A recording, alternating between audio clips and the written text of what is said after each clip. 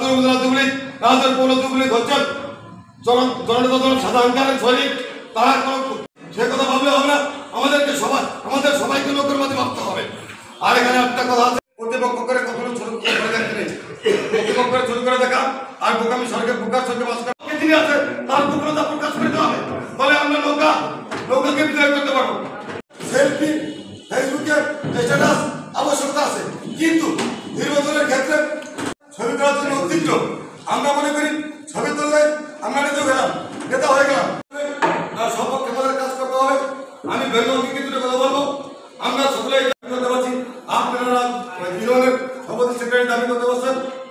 তারই সংগ্রামী শাখা আপনারা জানেন